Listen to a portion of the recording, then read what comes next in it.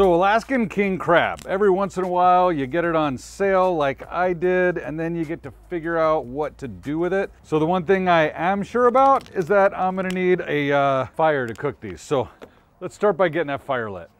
So this, if you're new here, is Mace Windu. He is my La Piazza Toscana wood oven. And uh, we're gonna be cooking our crab over wood in the wood-fired oven. So I'm gonna start by building myself a little log cabin here. I'm using hickory. That should be a good start to our fire. Let's get it lit. Do you guys know why crab is so expensive but never gives anything back? Because it's shellfish.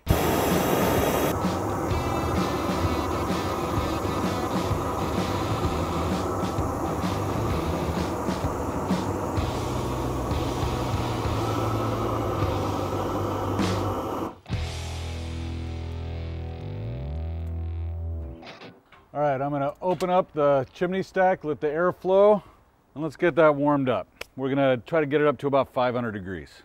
So for right now, I'm gonna break the crab up into sections here. So I got this one big section. I don't know what it's called. I call it the thigh. I'm sure that's not what it's called. But this is that thick section of the king crab. And then we've got this here that I call the knuckle, which I am positive is also not the right name for it. you guys know the names for these parts, chime in and let me know but right now I'm just trying to separate these. Now these knuckles have a meat that's nice and sweet, and I'm gonna go ahead and pick the meat out of here. This is expensive meat, so we wanna get as much of it as we can. I'm just gonna break this up with my fingers. I don't want any really big pieces for what I'm gonna do with this. Have you guessed what I'm doing with it yet? If you think you've figured it out, put a link in the comments now. No cheating. Don't come back and leave the comment after you see what I do with it. No cheating. Now let's take a look at these other pieces here. These that uh, I was affectionately calling the thigh, uh, we're actually gonna cut these open. So I've got shears here. So all I'm gonna do is take this top off here and set it on the side. So I'm exposing the leg meat in there. These I'm just gonna set out on my grill pan. So we're at 500 degrees on the oven. So let's get this fire set up so we can cook. So what I'm gonna do here is use the small pizza peel to move this fire over here against the side. That's gonna leave me lots of room to cook with over here on the right side and places where I can put more wood to keep the fire going. Now I'm gonna put a cast iron skillet in here and let it start to preheat. Be right back.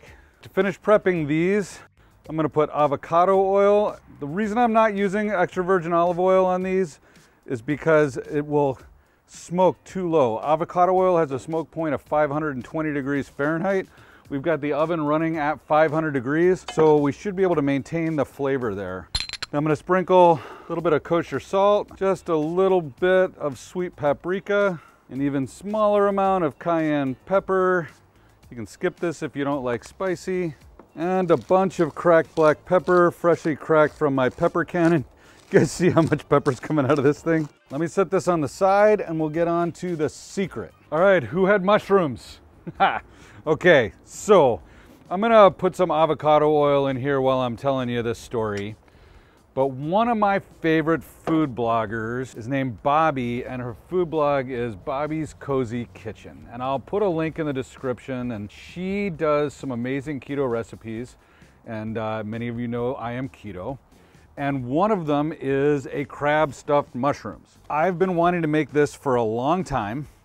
And I saw the crab on sale, and I quickly asked her, hey, Bobbi, is it okay if I make your uh, crab stuffed mushrooms on the show? It took her a little bit of time to get back to me and say yes, to which I replied, good thing, because I saw the ingredients in the store and I bought them all. So we're gonna make Bobbi's crab stuffed mushrooms, but instead of in the oven, how she makes it, we're making them in the wood-fired oven. The first step here, as you can see, is I'm taking these mushrooms and I'm removing the stems, but I'm saving the stems. We're gonna use those. And then I'm using a spoon to get the gills out so that I can stuff them with crab meat. But again, we're saving everything. Now Bobbi's recipe calls for 16 mushrooms. I only have a dozen here, Bobbi, forgive me. So I'm going to fine chop these stems because they're gonna go into our stuffing. All right, now I'm gonna grab a couple of green onions. So Bobbi's recipe calls for a quarter of a red pepper.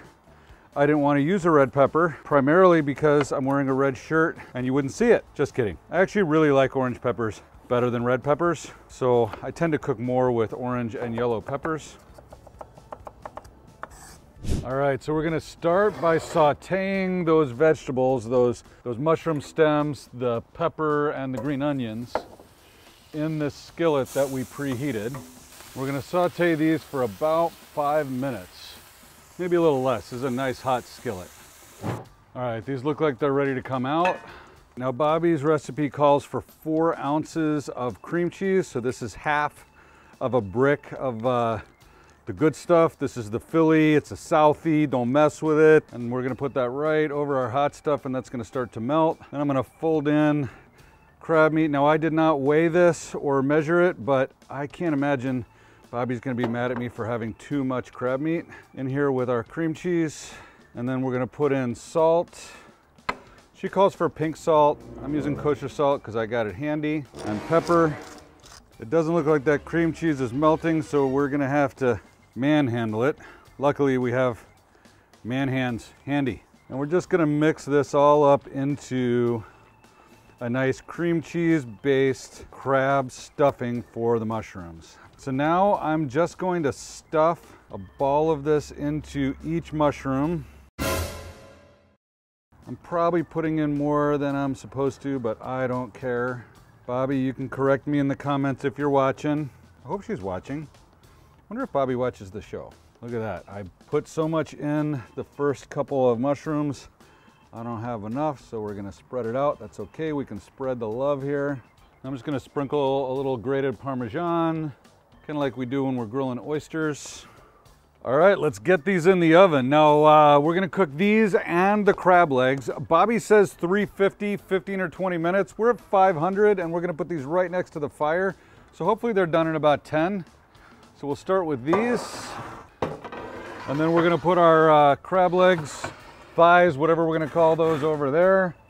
And uh, boy, it looks like we've got, we've got a nice hot fire going. All right, and now we wait.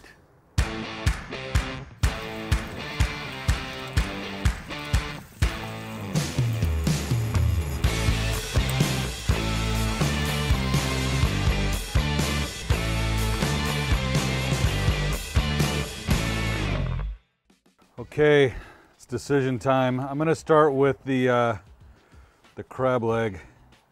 All right, look at this. Definitely have a juicy crab leg.